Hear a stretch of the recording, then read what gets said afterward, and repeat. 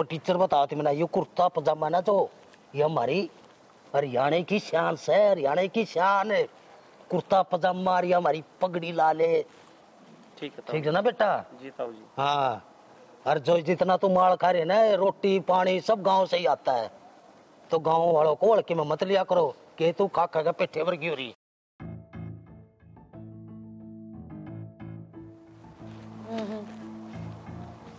ये बेटी ये बेटी। फ़ोन फ़ोन ने तो बाद में सुन ली मेरी बात सुन दो मिनट। मोना हड़े एक मकान लेना था। अच्छा। मिल जाएगा कोई? रवि प्लीज़ कम हियर हाँ जी मैम। पहले तो इस बुड्ढे को ये बताओ ये मकान नहीं फ्लैट है। अंकल जी ये मकान नहीं फ्लैट है। अरे मकान हो फ्लैट हो। हमने तो एक चाहिए था। वो हमारे बालक जो है ना वो जिद करने लागे। अग बाबू कोई शहर में कोई नया मकान सा मिल जाता बढ़िया होता। अंकल जी यहाँ पे लेना आपके बस की बात नहीं है। आप तो कोई गाँव में देख लो। अरे गाँव में तो भाई सा है बड़का का जीना लगता आजकल। पढ़े लिखे भी हमारे भी छोटे मोटे है दस बारह तक पढ़े रहे हैं। छोड़ो रवि तुम भी किसके मुँह लग रहे हो? काट देखिए इसकी? ये खरीदेगा फ्लैट। कपड़ा तो देखो इसके। बुड्ढे ये फ्लैट ना तेरे औकात से बाहर है। अरे जा ना बुड्ढे क्यों टाइम खराब कर रहा है? जा कहीं और अपना माथा लगाए यार। जाओ जाओ अंकल आप कहीं और देख लो। जा निकल। अच्छा रवि तुमने इसकी वो करवा दी सारी हाँ मैम ये करवा दिया है। ये ऊपर वाला रूम जो है इसमें अभी फिटिंग बाकी है। अच्छा अच्छा। वो करवा देते हैं शाम तक आप। अरे भाई मेरी बात है सुने? बहन जी बेटी मैं तने साफ़ साफ़ बताऊँ सू मने मकान की ज़रूरत है यू फ्लैट है तो फ्लैट की ज़रूरत है। इब यूँ बताओ यू कितने में मिल जाएगा? बस यूँ बताओ मने। अंकल ये आपके औकात से बहुत बाहर है। आप रहने दो। जितना ये महँगा है ना वो आपके बस का है ही नहीं। अच्छा? हाँ आपके बस का तो यहाँ जितने लेबर लग रहे हैं उनकी तनख्वाह काटना भी नहीं है तो आप फ्लैट तो बहुत दूर की बात है। अंकल मैम सही कह रही हैं। जितने का यहाँ एक फ्लैट है ना उतने में तो आपके गाँव में पचास मकान आ जाएँगे। आप तो वहीं पे देख लो ये आपके बस की बात नहीं है। कपड़े देख जूते देखो। बिल्कुल गवार। पता नहीं कहाँ कहाँ से आ जाते हैं मुँह उठा के। आया फ्लैट लेना है जाओ ना कहाँ अंकल कहाँ से आ जाते हैं मुँह उठा के? कपड़े देखो इनके। जाओ जाओ अंकल आप। जाओ टाइम खराब मत करो हमारा जाओ। जाओ हाँ जाओ। मेरी सुनो बात है। जो तुम पैसे करे ना कितने पैसे लगेंगे अंदाज़ा तो बताओ। ये फ्लैट करोड़ों में है औकात है तेरी इतनी? इसको तो भूल ही जा। और जा किसी झोपड़पट्टी में ले ले जाके। वो औकात है तेरी।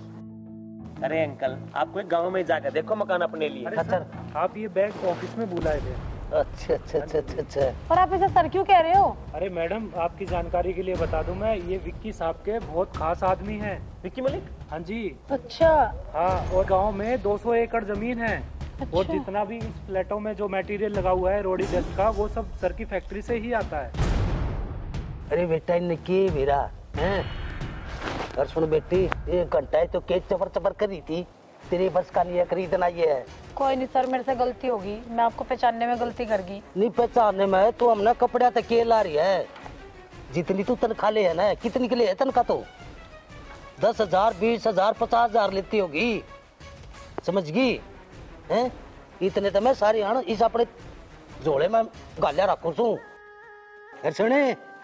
जितनी है देख ईटा का फरसा रहा। वो ईट लाग रही दुनिया भर की सारी। मेरे गाँव में हमारी फैक्ट्री से बजरी जितनी आवा है, मेरी फैक्ट्री तो आवे से समझ गई? और तेरी जानकारी खातर बता दूँ। और चोरे तू भी सुन ले।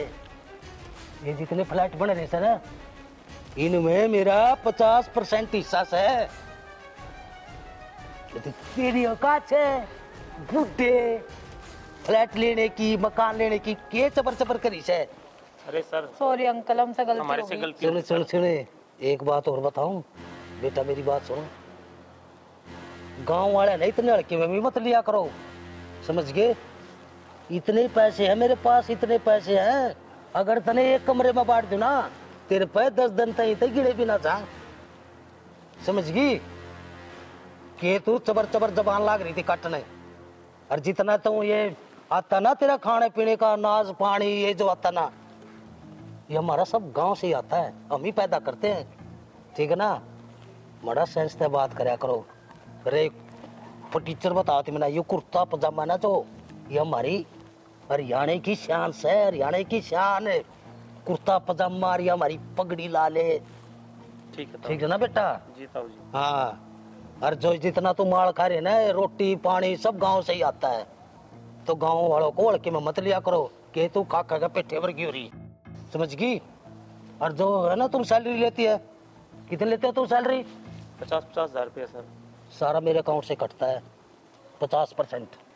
सर हमें माफ़ कर दो। हमें अपनी गलती का एहसास हो गया है और हमें पता लग गया सर हम किसी के कपड़े देखकर उसको जज नहीं कर सकते। हाँ सर माफ़ कर दो मैं ठीक से। देखे न्यू कहा करें। किसी के पेट पर लात नहीं मारनी चाहिए। मैं नहीं चाहता। अब थामने मैं नौकरी तक काट दूँ। क्यों आखिर में थामने भी बालक पालने से? थामने माफ़ी मांग ली। यू ये बहुत बढ़िया है? ना तो इतना ही था ना? नौकरी से। नहीं ठीक है सर आइंदा हाँ। ध्यान रखेंगे। ठीक है ना? ठीक है सर। हाँ। कर लो काम।